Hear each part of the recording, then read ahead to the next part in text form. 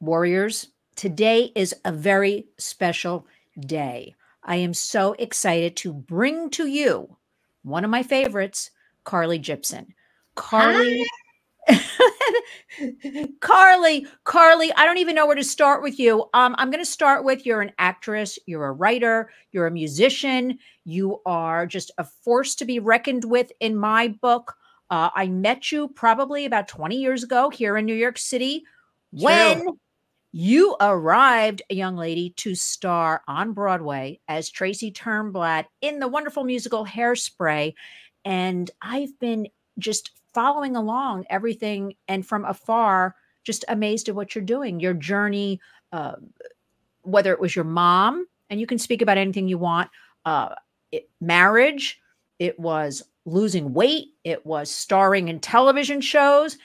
But before we get started, I want to urge everybody Carly right now is starring in a Netflix movie as that saucy, sassy Aunt Cindy in Holiday in the Vineyards. And I just uh, finished watching it uh, two nights ago. I watched it. So I urge everybody, not right now, when we're done, everybody, to go and watch this. Watch this first. Yes, absolutely. Because it's a real feel good piece. And in this overwhelming environment, I think we're all in, we need to just feel good. We need to have a little maybe fantasy, ro- romance, and just forget about everything for a little while. So it's, I want to thank you, Carly, because that's what it did for me. It took me oh, out good. of everything I'm doing. So welcome, Carly Jibson, to the Warriors. Thank you. Now, let's start with you. Let's start go back. Yes, we're going to start with you. First of all, where do you like everybody to follow you? Is it Instagram? Instagram is great. That's I post most of my updates there. That's where people can find out like what's going on when I'm doing local shows, when things are coming out. So Instagram is probably the best. It's just at Carly Jibson. Good, because that's what I thought. And that's J I B S O N, everybody. You have no excuse. Easy, Carly Jibson. Let's take you back. I think so. You'll be surprised though. You'd be surprised how people go out of their way to mess it up. And you're like, really? I, I don't even get me started. I mean, really don't start it because I named everything Lynn's Warriors, thinking I named it all after myself, kind of thing, so it would be easy. Um, but, but we're going to leave that for a minute. The uh, confusion people seem to have today. I want to take you back. You talk about anything, share with us anything you want.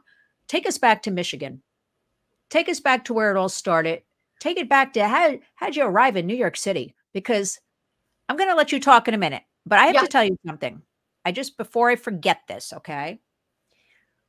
When you arrived, Hairspray was made up of a lot of young people, the cast. And I remember being at meetings, our production office, hand, very, very handy. It was right across the street from the theater. Yeah. And so I was keeping an eye on things, or I would go to try to, you know, be a cheerleader or just check in with people. That included cast, that included box office people, crew, just always trying to empower. And I remember Carly at a meeting bringing up, why don't we have now they left me right out of the room i am not exaggerating i'm like why don't we have like a mentoring program when we bring young people to new york city broadway and just kind of like be there for them and carly everybody laughed at me i kid you not i think it's a wonderful idea and i think anybody coming to new york you know in these shows in show business i don't care what it is needs for people older uh, who are a little more experienced. Absolutely. To help out. And so I'm very driven now at my age. My my uh, kids are older now and I don't have to worry about, you know, homework and all that. Mm-hmm. Other issues, but you know, uh we have to get back to that. We have to get back to mentoring. We have to get back to society. We have to really Absolutely. empower our girls and women. So let's start there. Let's start with you in Michigan. And how'd you end up on West 52nd Street? Absolutely. Well, honestly, like it's funny that you mentioned that. That's something that I think I would have greatly benefited from being that I was so young and not necessarily naive.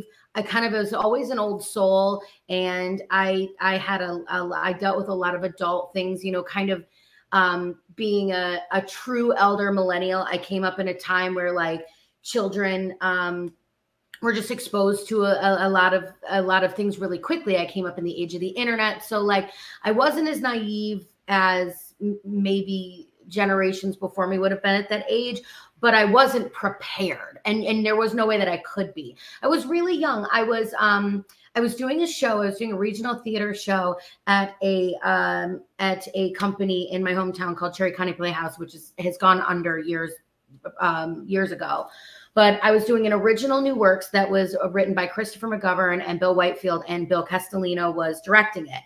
And it was a really irreverent sort of um, eight piece ensemble young person show that at the time, remember, this is like 2002, um, dealt with um, coming out young to abortion to losing your virginity to the Columbine massacre. Like it was basically like, what are children in this dawning of the, the millennial happening? Like, uh, the what are they dealing with and how are they dealing with this emotionally this is a lot coming at them right like you know so um, it was a really great uh, project. And because there was a lot of talk about it, there was talk about moving it to New York. So there was a New York agent by the name of Bret Adams who, who passed away years ago, but was a huge, huge supporter and mentor of mine. Um, their agency is, is still around in New York. They're one of like the older and more respected boutique agencies in New York. And I still adore them all. Um, and he came and saw the show because he was re- uh, representing the writer and director and um and he just saw me and this was before this was right before hairspray went out of town to seattle so this is the summer of 2001 and um and i just got a call randomly after that happened that was the summer before my senior year of high school i got a call around christmas time and he it was the funniest thing too because again like my mom and I just didn't know anything. And like she got the phone call and actually came to my school and was like, Broadway called, like as if it was like an INC with like women in sweaters typing, and um, that they just like put out phone calls. And um, essentially, he was informing us that there was a new musical coming out and that he felt that I would be very right for it, but they didn't know where anything stood. It was still kind of new and there was a lot of talk, but no one really knew. And that was all I needed to hear. I was a very precocious child who was enthusiastic about theater and and performing and nothing else meaning academically things were just like not going well for me. And uh, so i was like that's it. I'm, I'm gonna move to new york. My mom was like Ugh, please just finish high school. Like please just like get your education. So i made a deal with her that i i would at least finish high school. And then um and then i then i found out that they were they were moving after the uh, the Seattle run that they were going to be moving forward with Marissa, so that they weren't going to be holding in auditions, but to know that the show was already looking like it was going to be a hit. There would probably be a tour, replacements, blah blah blah. So to hold tight. And that was really it. That's all I needed to know. I um, I promised and swore that I would do correspondence classes and graduate uh, that way. And so I was uh, through an early graduation party and took that money and I moved to New York and I never did the correspondence classes. And to this day, I don't hold a high school diploma. I just, I could not be stopped. So I moved to New York basically just on this, on this phone call, this idea that this thing could happen. And I am so grateful that it did. I basically showed up with like, I don't even know, $1,200, which at the time was kind of just, you know, just not a lot of money and um and yeah. basically just showed up at the agency was like i'm ready. And they were like okay. So i i went in immediately and auditioned for telsey and it was pretty much from then on. It was about 10 months over the next well i would say like eight to nine months like 12 auditions of just like vetting and weaning down girls and getting us you know really figuring out who had it and, and who was going to be able to hold it. Because it is it's not just about it's it's the maintenance of it. It's it's the nuance of it. Like there's just so many moving parts to tracy and it's a really complicated role um, to cast. So they were very um, they were very efficient in doing that. And then when i found out i got it it was like the april of i that i i booked the first national tour that i was going to open the tour. It was like april of 2003 and um, I was broke. I was out of money, so I went home and just waited for rehearsals to start, and that was kind of that. But I will say, like, you know, it was fascinating to me. I was 18 years old, and because I was 17 when I came out to New York, I was 18 when I booked it. I actually turned 19 in rehearsals, and um, it nothing can prepare you for what that is.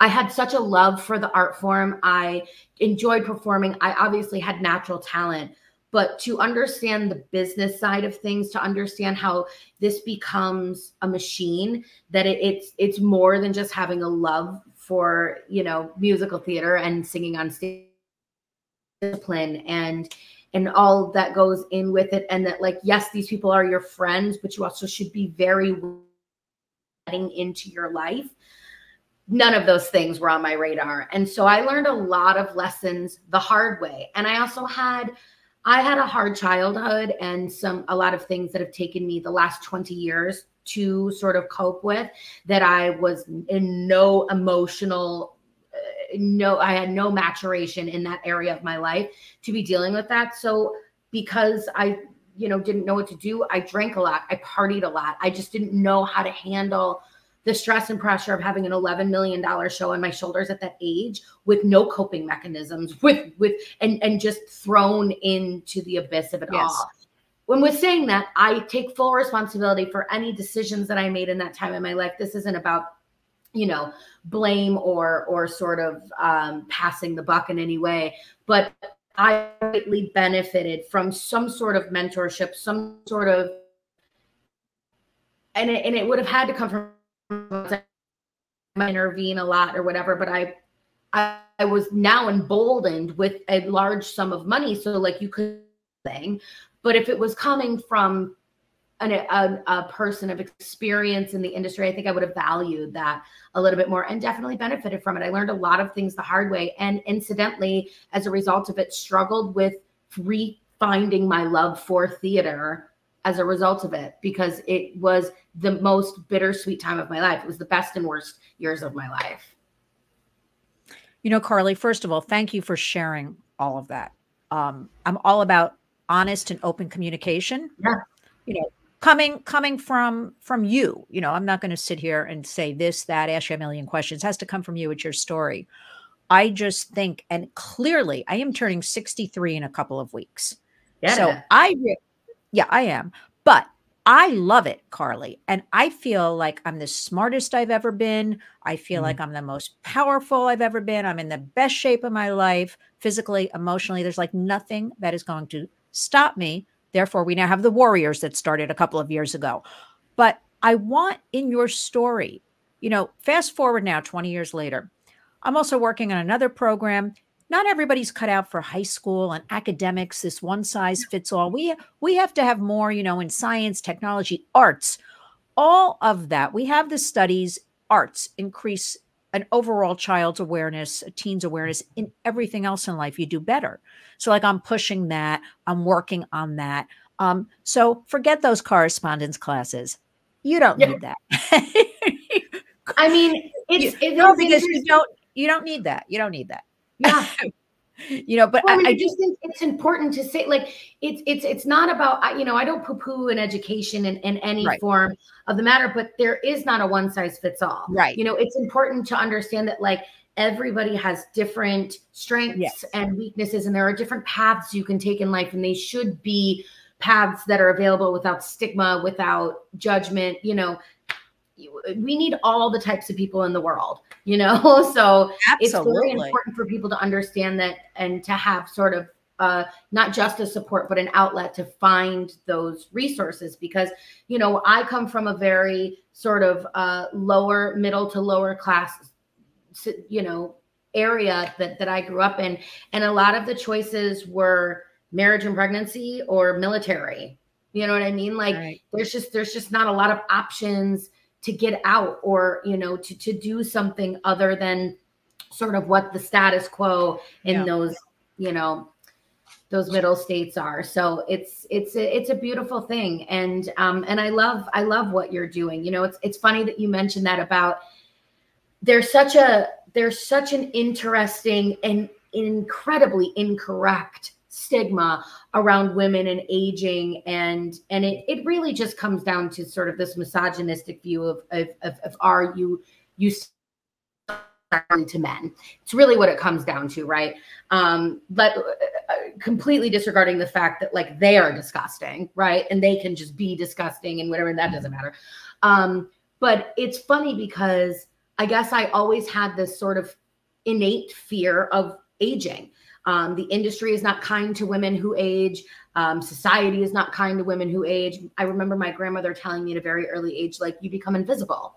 It was just like this thing that she said that always stuck with me about how you just stop being in the zeitgeist anymore. You stop being, you know the you know the part of the the pulse of what things are you become sort of a outer character and um and and i just always i don't know that just always sort of fascinated me and and yet i see women who are coming into their 40s, 50s, 60s, stronger, sexier, more powerful, more set in who they are. They don't take any BS from anybody. They got no more F's to give. Like it's just freeing and liberating. And I'm loving to see this because it is setting a stage for those of us that have like sort of been taught to fear getting older. You know what I mean? It's like with every passing day, but it's part of it's part of your journey and what you earn. And um, and so I I just applaud you for that. I love that. Well, amen, sister. You know, I but I have to say that so at this age, Carly, now I can look back. I was a kid, but I was at the tail end. This is even before you were born, you know, of the women's movement. Okay. Where women, I grew up in Jersey, New Jersey, they were hanging bras on trees. Every kind of woman, every religion, every color, didn't matter. All the women came together. They were marching on Fifth Avenue across the country, mm-hmm. marching in Washington. They're not doing it now, in my opinion. Mm-hmm. Everybody is so a lot has changed in 20 years. Let's let's yeah. keep it within like since you came to New York, it's changing on a daily basis. Yeah. Um eh, people are scared. I don't blame them. The women are not coming together. I am very worried about our girls you know yeah. again growing up in the in the internet bubble as i call it i'm blaming the internet. Well we have studies so i'm not blaming them. It's we have real. a lot of it's, it's real. you know um uh, they're not despite all the talk this is my experience at least of you know girls uh, we're going to empower women we're going to come together. They're really not. And i'm seeing this in the last few years. I'm concerned for instance um geez women my age posing on tiktok i don't know in bikinis Mm-hmm. Now, I'm not being judgy. Go go for it if you want. But what kind of message is, or like are we sending? I'm very concerned about our you know fifth, sixth, seventh, eighth grade girls going into yeah. high school. We have to start earlier and earlier because of the internet. They're learning everything on the internet. Absolutely. So, I what are your what are your thoughts think, on all of yeah, this? I think what's hard about it, I have I have a couple thoughts about it. I think what's hard about it is not unlike everything we've talked about today. There is no one size fits all. You know, the idea in my in my sort of interpretation that the women's lib movement was about having autonomy true autonomy. Meaning i get to choose the way i want to do things and you can choose the way you do and the two don't need to to to cross intersect at any point of judgment or or infringement right? And that's sort of the big idea of it. Right. The problem with it is it's been the the concept and the ideology has been hijacked. Everything in this country has been monetized in one way or another and then eventually weaponized.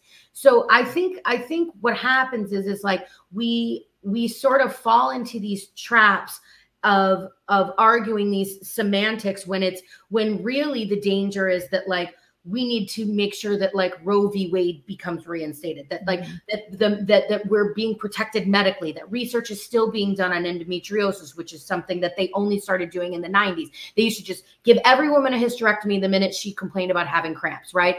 And and as someone who like went through this myself and realizing like they've only been actually starting to do research on women's reproductive cancers and things like that within the last 20 mm-hmm. years kind of because it became so prevalent like there is no world in this day and age where a woman should be dying of ovarian or cervical or uterine cancer of any types like we should have pre-screenings and all these types of things so it's like as much as i understand it's valid to to sort of question the imagery that's taking place to me that's all like sort of this corporate smoke show that's just distracting yes. us from the fact that like we are actually losing our our rights as women yes.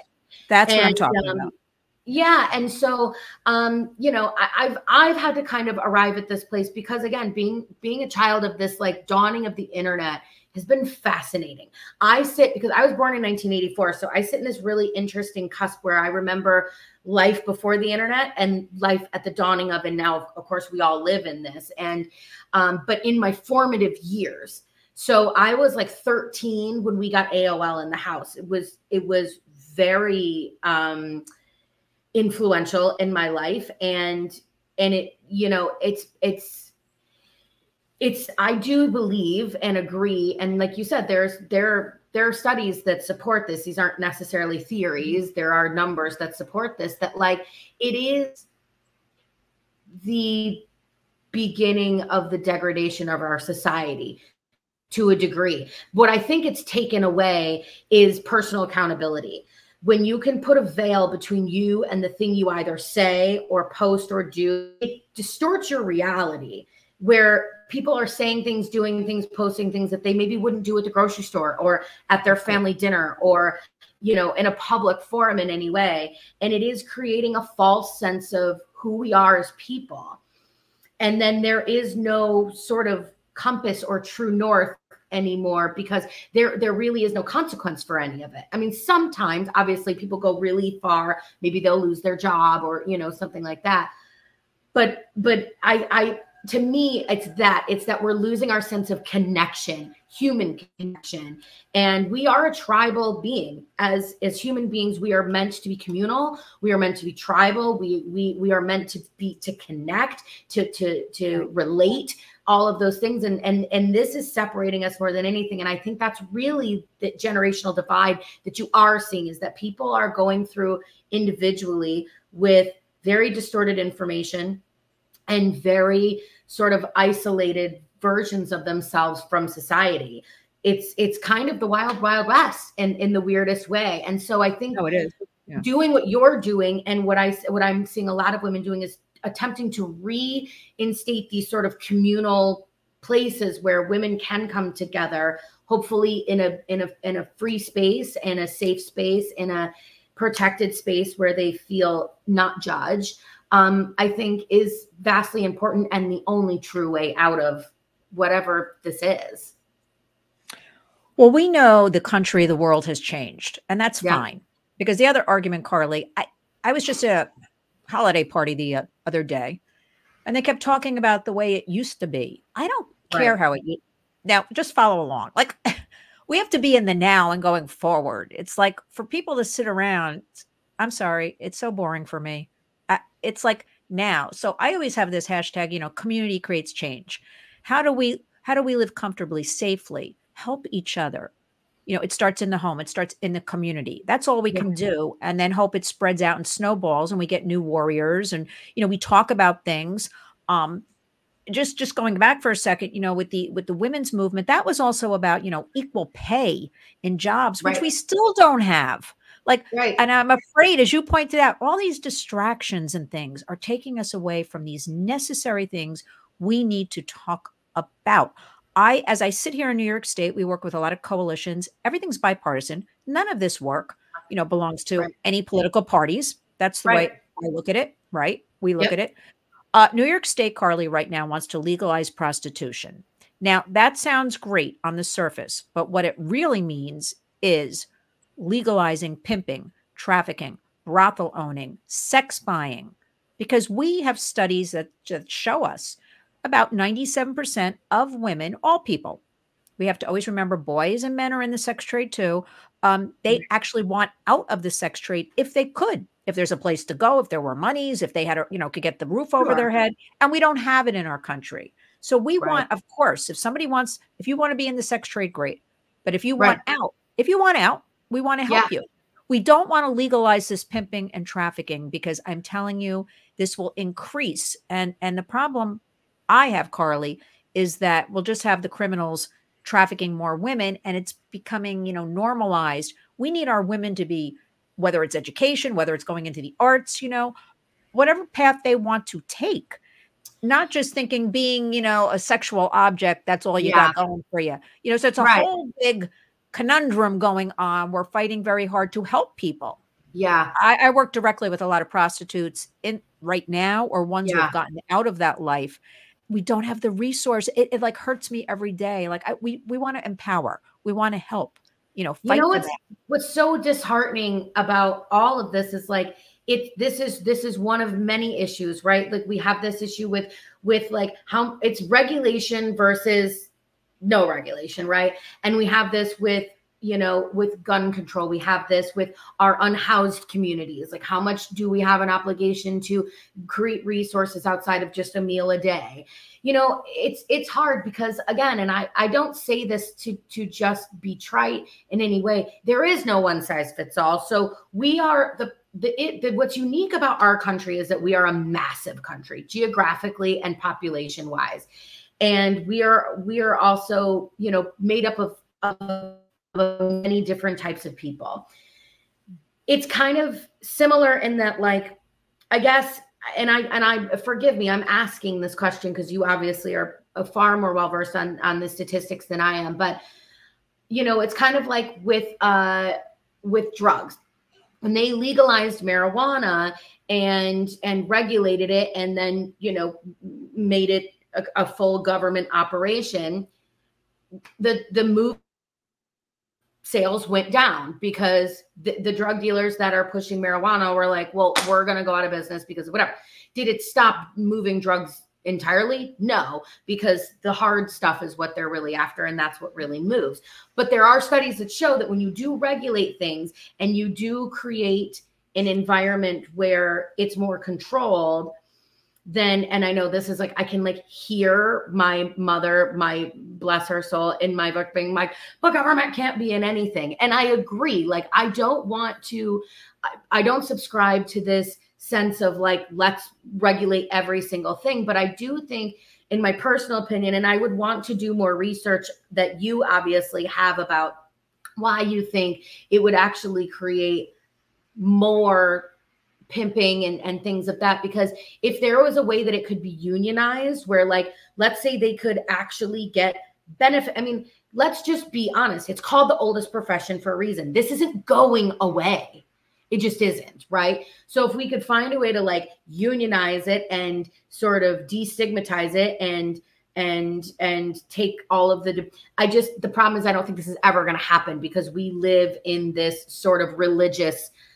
you know self-righteous place that like they're just never going to do it. Sex is always going to be brown paper bagged in this country, which is where the deviance I think really comes from. People aren't actually allowed to openly and freely express their sexuality or fetishes or whatever it may be. And I think that's where, and some of them you shouldn't. Obviously, there's terrible, awful, disgusting things going on and things with children. But do you think that there is a path at all to to within the um, within regulation to bringing it down at all and getting some kind of control of it? And then I agree with you entirely about like also getting a path out of it where you know what i mean? Like finding a way to be like this this should not be your only option.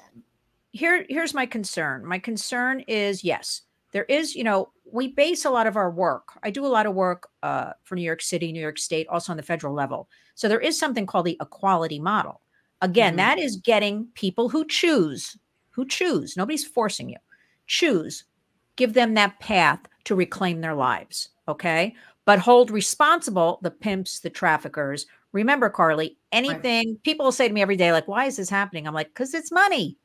Yeah. I don't want to, there's so much money to be made. The problem we have going on is um now wait till you hear this one. Because I've been to the Senate, I've been to Albany, our state capital.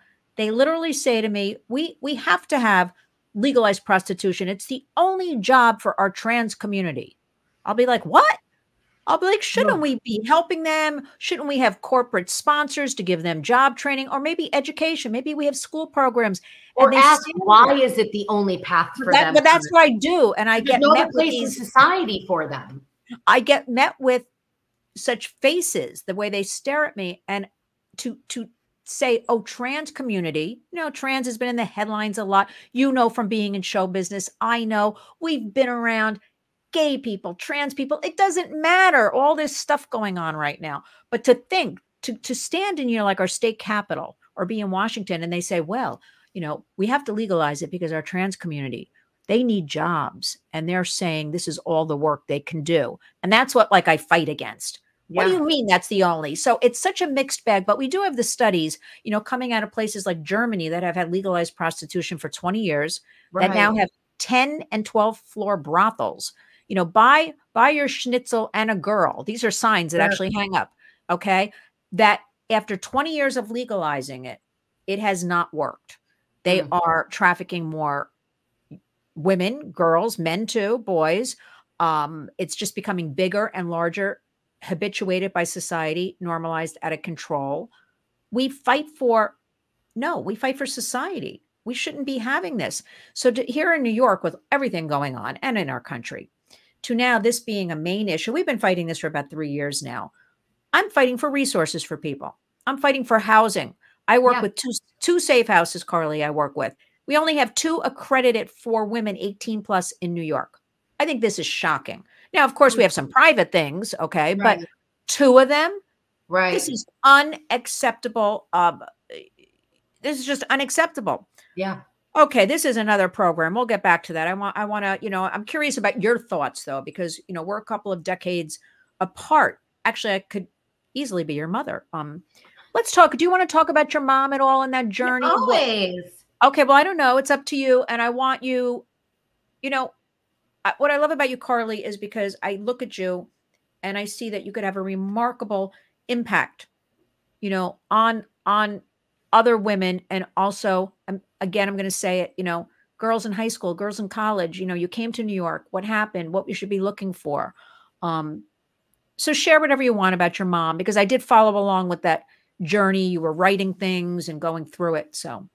Yeah i mean it's um it definitely was a it's a it's a life altering there's like the before and the after version of me you know what i mean? Losing her was I always say it's both the best and worst thing that ever happened to me. Obviously, I think the worst is, is pretty, you know, obvious, but in the best ways, it forced me. Um, I had two choices when she died. I really did. I could curl up in a ball and just give up. And believe me, I felt like it. I wanted to crawl in that casket with her. I was done. There, that was my best friend in the whole world. That was, you know, my mother and I were so incredibly close after she and my father got divorced when I was five, she never remarried. Um, her choice. She just was kind of like, I'm good. Um, you know, she dated, but she just never had a desire to be someone's wife ever again. And she wanted to, because she got married really young, she got pregnant at 22 and married and, and did the whole thing. She wanted to live her life. And so by example, she sort of created this um this this pathway of me seeing a woman going a different route. She took a job where she traveled on the road um, 80% of the year and and and worked all over the country she worked for a liquidation company and they would go into businesses that were like going out of business and she would go in as the accountant and sort of like run the final three months of the sale and hopefully make them their money back and whatever. But she was every three months, she was in a different state. She was in a different city. She was doing this, you know, and she would just get in her car and drive. She sold her house. She just was, you know, and um, she, she was fearless, truly. And, um, and, and, and so inspiring and, and so empowering, but also one of the most, um, emotionally intelligent women I've ever known. Wow. She had such a unique ability to disarm almost any person she met. She was one of those people that like you you find yourself just saying things to her and you're like, I don't know why I'm telling you this. And she's like, Don't worry. I'm used to it. Um, wow. because she was warm and and and non-judgmental and welcoming and kind and and and authentically kind, which is um surprisingly very rare.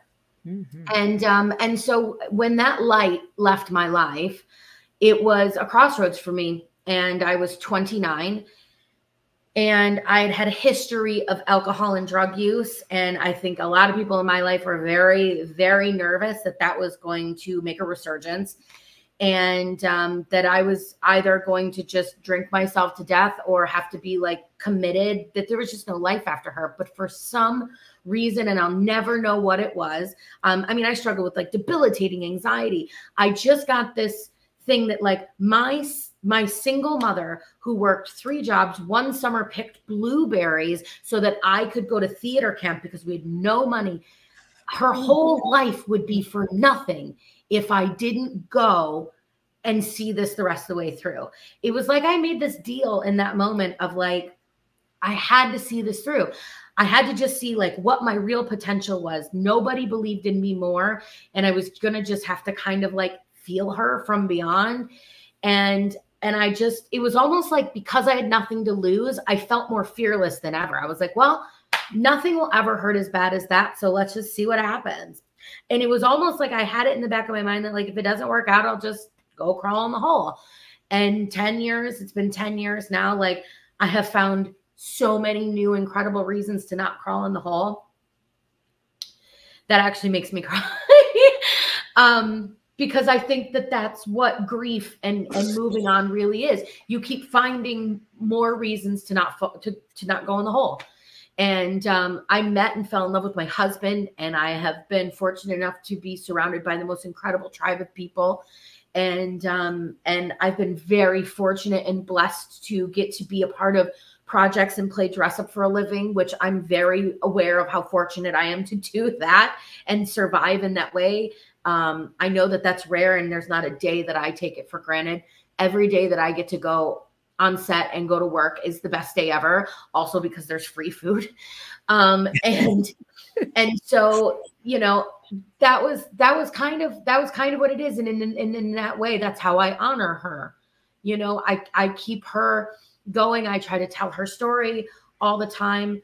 Um, you know, anybody who's who's lost a parent or lost um, husband or a, or a child or a sibling will understand this feeling of like the day my mom died, my world stopped, but the world didn't.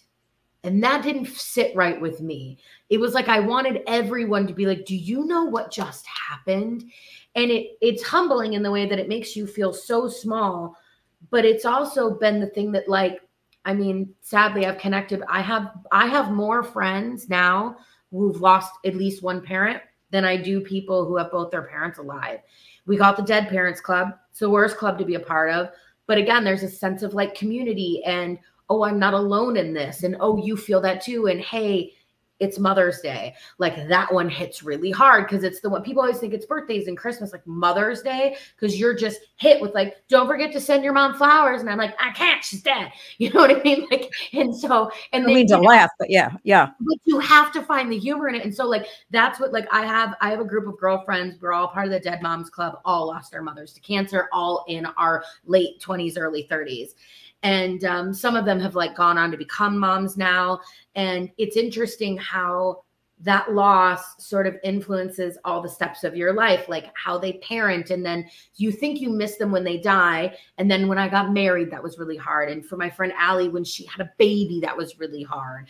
And for you know and my friend Angie like it's just all these different things where like you have to you continue the grief just doesn't go away. It right. changes and it grows. But to me, I always saw the the pain as as a physical manifestation of our connection and love. And and once I started thinking of it like that, like a bond that couldn't even be broken by death. The amount that I love her couldn't even be broken by her ceasing to exist. And so now when the pain comes, I feel like I welcome it because I'm like, yeah, that's right, you bet you bet it's still there. And it and, and it's not going anywhere and it has not diminished in any way. And um yeah so it's um it's hard but there is there is life after it. The life is different but there mm-hmm. is life after it. It can still be really beautiful and um and uh and worth it and I think, you know, and here I teared up too, because I remember reading when you were writing some things going through this. And I remember actually one time, actually by myself, I'm pretty tough, Carly, like just crying. I felt so. Oh. Here I well, go again. Here I go no. again. But you know what? But you know what? It, I I think your connection obviously is even more powerful with her now. Yeah you know and, and this is this is a story also that has to be shared. It goes back to my community you know you have your community you know your your your other women you're with. We need to lean on each other. We need to yeah. console each other. We need to talk about it. We need to you know we have youth mental health crisis going on. Suicides out of control in this country.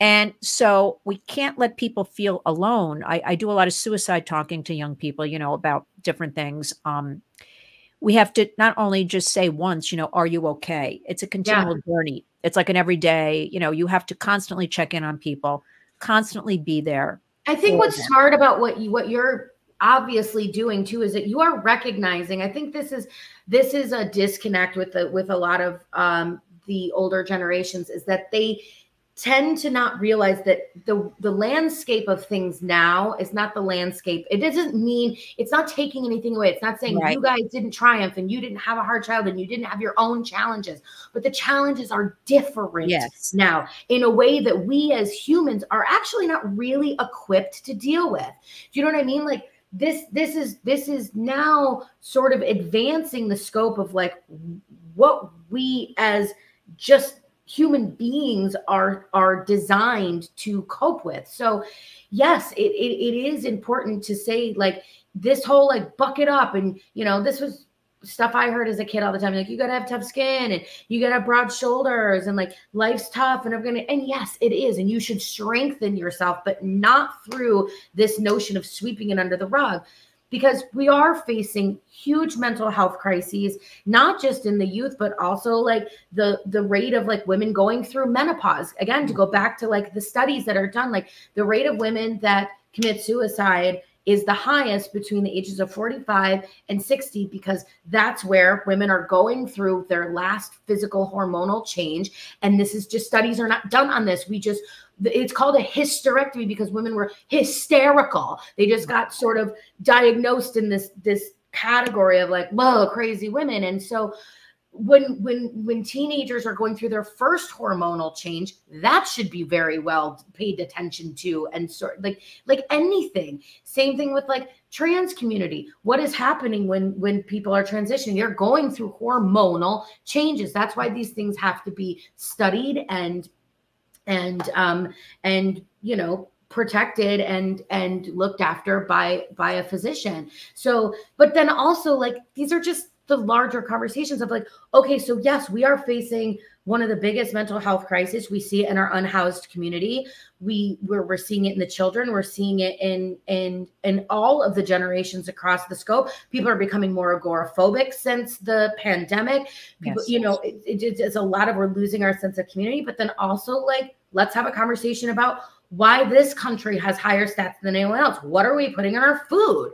It's the red dye number 40s and the yellow dye number fives. And like, and I hate to say it, I love a Big Mac. I'm obviously, I, you know, thick thighs save lives. Like, don't come for me. Like, I love a Big Mac, but there's something to that where like we're, we're literally making ourselves yes. crazy. And then they're monetizing on that by being like, well, here, go to the pharmaceutical companies. You can get Ozempic and you can get this. we'll put you on a legal version of fen-phen. Or, hey, how about I up your dose of Prozac? But like what we're not doing is talking about how like really we're losing our ability to connect with one another and our sense of community and like that tribal. That's I feel like I don't, it's not a one size fits all. Again, mental health is important your relationship with medicine whatever is is everybody's own personal journey. But i think that we would need things a lot less if we felt more yes. connected and protected. It feels very everyone for themselves now. I think that's probably the disconnect you feel. Coming up it was like hey man we're in this together and now it's very like you get yours i'll get mine I, I don't even know where to start with that because um yes i was also i was no no no because there's so much to talk about. We're going to have to have a part two because i know you have to go in a little bit but you know i was also a kid during vietnam. And even even being like in the third and fourth grade we we wore pow bracelets. I, right. I don't know like even little kids that age were aware of it I'm only yeah. now as an adult studying up on Vietnam. That's a whole nother story. Like watching documentaries, reading about it. What a waste that was. But right. like it was a feeling of uh, more of coming together. I remember right. when they started, I was in the fourth grade. It was the first, um, oh, what do you call it? Uh, Earth Day or something. Uh-huh. I remember being, and our assignment was go out of the classroom. You know, if there's any garbage like on the ground or sidewalk, right. pick it up. Like that's where that started you said it very well. I think COVID obviously changed because uh, I say now before COVID, after COVID. Like that's yeah. where it used to be before 9 11, right. after 9 11. Then it's before COVID, after COVID. Um, it feels you're correct, very much like people are really in it for themselves. And Yeah. I am trying very hard to if I if I affect one person a day, Carly, because people are like, why why are you bothering Lynn? What are you doing? You know, you're solving human trafficking, sexual. Expl-. I'm like, I'm raising awareness. If I help one Maybe you're person a day, a conversation that people Exactly. are afraid to have. exactly. It's That's like important. one thing a day, Yep. and I've done my job. And I wake up Yep. every day, one thing, go to bed every day. Um, it it does feel very much, but I I'm very hopeful going into 2024. We can't continue, you know, as a society like this. The pendulum, Carly, has to swing back. I'm seeing little signs of it. You know, we're working very hard. It's, it's school by school to get the phones out of the schools just during the school day. Right. And the schools we've done it for and with, we're seeing major progress. The kids, you know, talk to each other. They're doing better academically. The teachers and students are relating better. Sure, they could pick up the phone after school, you know, when they check their phones in the morning, but at Right. least for that five, six hours, if they're in school, they have to. They can't Yeah. isolate, right? Yeah. So we have all these little programs going on to just bring it back. People are like, what should I get my my children for, you know, holiday gifts? Because everybody wants new devices. yeah. I'm like, well, in addition to that, because I can't really tell anybody what to buy their child or teen, buy a hardcover book. yeah. Let's get let's get kids, you know, they feel it, they turn a page and then you talk Yeah. about it. Just simple things like that. I never thought, Carly, I would have to say, you know, buy a book, buy a puzzle. But a new study came out, good news this holiday season. Sales are news? booming. No, sales are booming. Books, oh, puzzles. good. board games, dolls, Legos, Lincoln Logs. So my theory of the pendulum Love is Lincoln swinging- Logs. I, I still love them too. I mean, that my theory of the pendulum is swinging back. yeah. I'm, I'm right on the money. Let's finish up with you're starring right now in this movie. Tell us anything you want to share about the experience. What's up Yes. next for you? Because I'm going to hold you to a part two. I'm never. Okay, I would love it. Yeah, I, I I had a feeling we probably would because I can uh I could get into these subject matters. So it's called Holiday in the Vineyards. It's Love it. currently I was I think it's number six on that uh, top ten today. It was number four yesterday. I don't know how it all works. I don't know. Um, but um, top ten globally. It's very exciting. It's a really like you said, it's just a feel good. Yeah. Sort of, you know, uh, rom com. But what I what I really enjoyed about this mostly, and one of the reasons that I said yes to do it, aside from the fact that again, I just love to play dress up for a living, is that I felt like so I I I play the role of uh Cindy, which is Val's best friend. Val, I don't want to give too much away, but um Valerie's uh uh Valerie, Valentina. I don't know why I said Valerie. I was thinking Valerie Bertinelli for a minute, like her had just like her face popped in my head. And I was like, oh my god, she's so beautiful. And then I'm like, that's not her name. Her name is Valentina. She's a gorgeous Latina woman. Um uh so is again kind of in the aftermath of grief and losing her husband with two small children. And so, what I loved so much about this character is like, yes, she's the comic relief. She's funny. She's meant there to sort of be like, yes, girl, it's time to put on a cha cha nail and like get back out there and like whatever. But also, there are, I think people will be surprised to see there are some sentimental moments of sort of women supporting women and the true and real conversations that women have with one another in those really dark times you know? I think as women we we have to be a lot of different roles to each other especially like if you did come up with with say absent father or mother or whatever issues that you have when you find true true loving and incredible women in your life they sort of serve many roles Yes. and that's what I loved about this. You know, oftentimes two female characters are either competing for the same guy or competing for the same job or competing for something. And um, it's not often that you see these female relationships empower each other and be there for each other and both be like sassy and push you when you need to be pushed, but also hold you when you need to be held.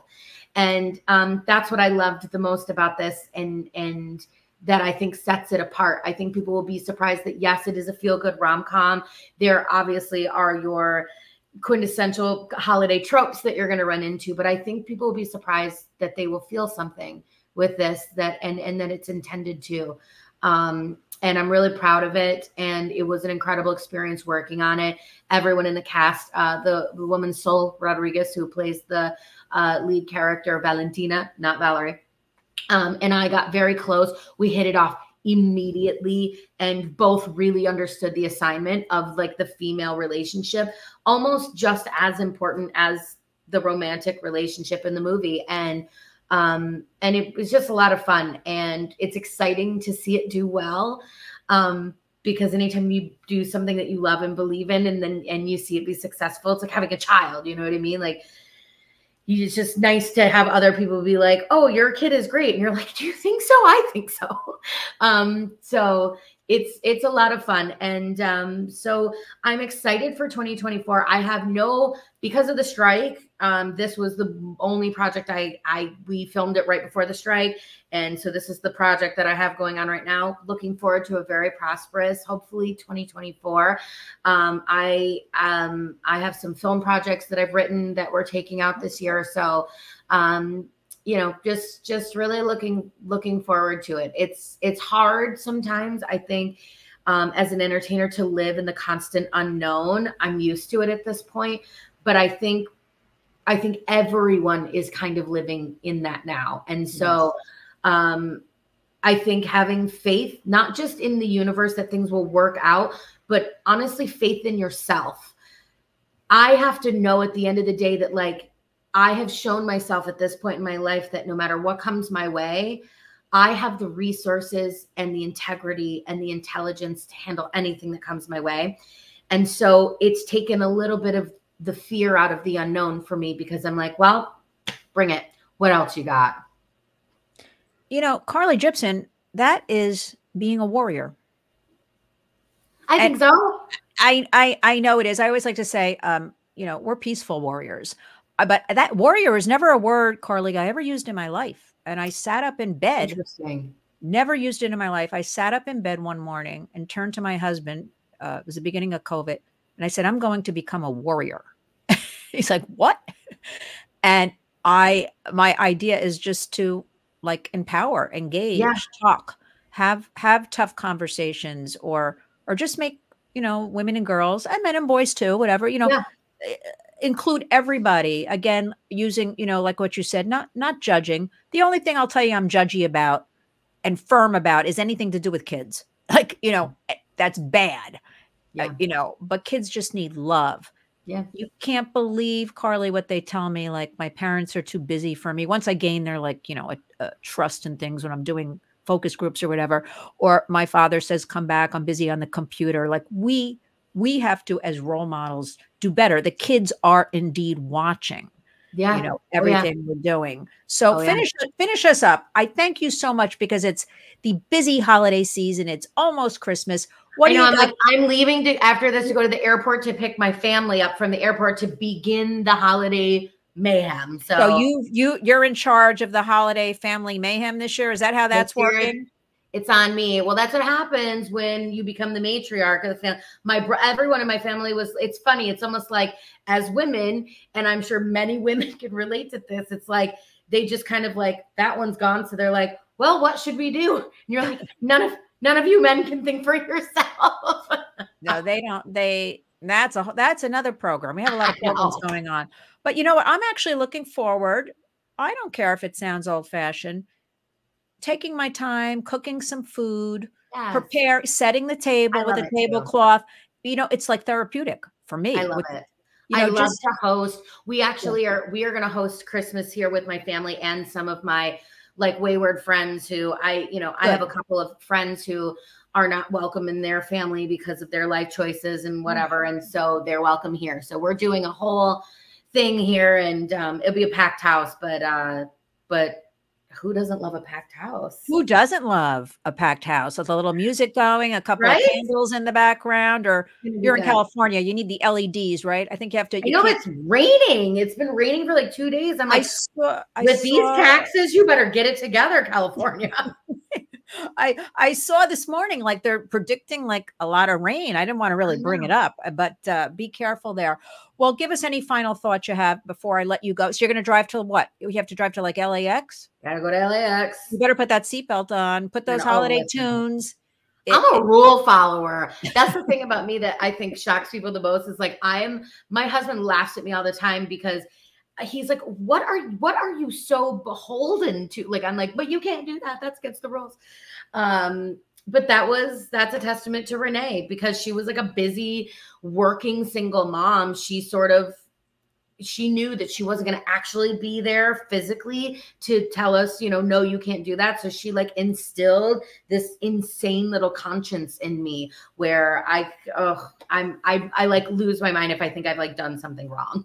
Really? I'm kind of a rule follower myself, um, which is why my husband doesn't like me driving because I go the speed limit. right. You go. You're like, no, I can't. Three car lengths between us. you know, I'm one of those. Um, but anyway, I am just so thrilled to reconnect with you, to talk yeah, with me you. Too. Uh, you you warm my heart. You Mm-hmm. have a tremendous um, heart and feeling, and I just want to be part of your life. And I, Get you know what I was, I before I let you go, I thought of one thing, Carly. I just thought of it. I have to share with you. I I went over to Hairspray like during a matinee one time Uh huh. because I used to like people would come, we do the whole housey thing, and during like you know the intermission, I'd run over and give them a T-shirt or see how they're doing or whatever I was doing, trying to be a hostess, you know. Right. And I remember I stood in the back, one of these mat. I was waiting, I was waiting for like the break or something. You were dancing so feverishly that all I kept thinking to myself was, "How does she keep her wig on? How is that?" Is that wig gonna come off? Because I'm telling you, you were twirling and and jumping, and I was I like, used to like staple that thing to my head. I I was to like, get like, the oh. most horrible like like headaches from it because yeah, they were oh. like they were putting extra pins in. Because here's the thing, they knew too. They were like, if that wig falls off, that's on us. That makes the wig department look bad. So they were like putting those big old pins in there. But yeah. Um what if you know it's funny? Okay, so I probably shouldn't tell you this because I'm not supposed to have it, but I actually have a bootleg of me doing the show that someone gave me a hundred years ago and i haven't i hadn't watched it and i can't tell you when and my husband of course I, we met much after and he's not musical theater at all he's in real estate when i met him he was a, the lead singer of a punk rock band like he doesn't know much about musicals and so i um I, I had this and I'd forgotten all about it. A friend of mine had passed away and they sent me a bunch of stuff from his house. And I was like, oh my God, this. And so we sat and watched it. And it was it was very fun to share it with him, but it was cathartic for me to watch. Um, because I think because I was so young, it almost feels like I know it's a part of my life. I was there, but I was like a child. So Yes. it, it's not the freshest memory. And rewatching it was almost like it was like I, because I'm 20 years from it now, it almost was like I could appreciate it in the way that like my mom did, where I was like, oh my God, I'm so little. Oh my God, how am I doing this? How am I doing this at 19 years old? What a and then I just, it was a whole thing in therapy. Like I had to cry because, you know, I was like, oh, oh, I wish that, I wish that she was protected more. And that's why I just, I, know, I've done the work. It's taken me 20 years to like heal all the things and do all the things. But that's why I love what you're doing. Cause even if it is just one person, that one, you know, it's a domino. That one person Yes. then goes Yes. off and changes someone's life. I mean, it matters what you're doing. It's important what you're doing. It's important to be a warrior and not a worrier. You know, like to to take on, like I said, that's your path. You can crawl in the hole, you can go. You can become a warrior, you can become a warrior. You can crawl in the hole or you can make somebody's life worth it, you know? And um, and so I applaud what you're doing. I'm I'm very honored to be a, a small part of it. And um, and that, you know, you were brought into my life at that time and um and that you're still there. I just I adore you and I'm really grateful for you. Oh, Carly Jibson, I love you so much. And your mom is with us today. I kind of feel it. So proud of you. always is. So, so proud of you, though, that all you were doing. And just so happy that you were part of this fantastic movie, Holiday in the Vineyards, that you really explained because it really touched me. And I'm like, oh, a Netflix movie, you know, Right. obviously I'm interested to see you. And, but I'm like, this is a really good, feel good kind of thing that I liked. And you said it was a relationship between the both of you, both women. And it goes along with Yeah. my warriors I'm trying to teach. This is what we need more of. So I want Yeah. to thank you. And I want everybody, because I know everybody has Netflix now. Yeah, Holiday the on. Yeah. what we, we it- it's always, I don't care. It's going to be in the top 10 every holiday season going forward. It's going to be what like one of those, you know, perennial holiday classic favorites. I feel Well, I hope so. Oh, it will. Um, look, I wish you nothing but the best of luck. We will talk again Thank soon. you. Are stuck with me it. now. You're stuck with me Yeah. now. Uh, you are very knowledgeable about so many things. I feel so good about you and your future. And I just want you to have the best holiday with family and friends. Thank you for taking You in too. those that can't be because I always tell people check on your neighbors and friends, make sure somebody has a place Thanksgiving, Christmas, New Year's to Yep. go. Offer your home. So for you to say that, Carly Jibson, you are a warrior, and everybody should follow you on Instagram. That Yes, IG. And I love you so much. Please drive love you. safely in the rain. I We will. will, I will. I we will talk again soon. And I'm going Okay. to have this video up later for everybody to enjoy. So Merry Christmas, Happy Merry Holidays, Christmas. Happy New Year. We will talk again soon. Thank you. Carly Okay, sounds Jibson. good. Take care. Bye bye. Bye.